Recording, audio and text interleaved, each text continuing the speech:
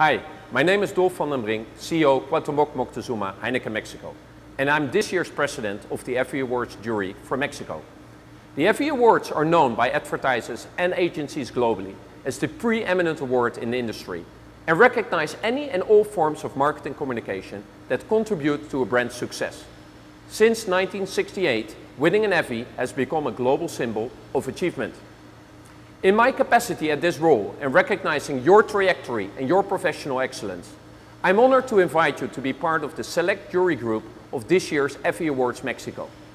Being part of an Effie Awards jury is a great honor, but a huge responsibility as well. As you know, in order for the competition to remain confidential and transparent, the process requires our full commitment.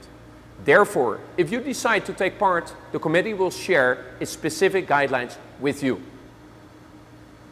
As of June 16, the call for participants to present submissions was closed and many were received. Please confirm your participation with Sergio Lopez, Executive President of AMAP, to the email below. I'm looking forward to meeting you there and sharing this experience with you. See you soon. Bye-bye.